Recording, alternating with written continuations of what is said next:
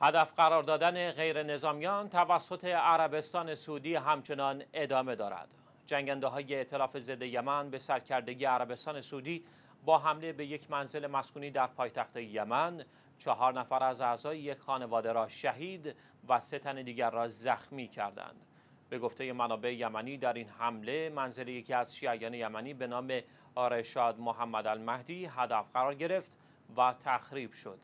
بر اثر تخریب این خانه چهار نفر شامل سه کودک و یک زن به نامهای علی رشاد محمد المهدی دوازده ساله احمد رشاد محمد المهدی سه ساله جیهان رشاد محمد المهدی 16 ساله و دولت علی الدلیمی چهل ساله از اعضای خانواده وی به شهادت رسیدند. علاوه بر شهدا سه نفر دیگر شامل یک کودک و دو زن نیز در این حمله هوایی زخمی شدند.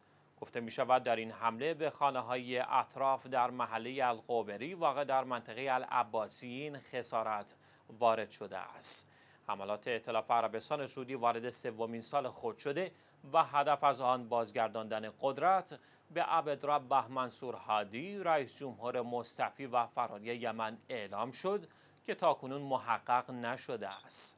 همچنین این حملات تاکنون جان بیش از ده ها هزار نفر را گرفته و یا آنها را مجروح ساخته است.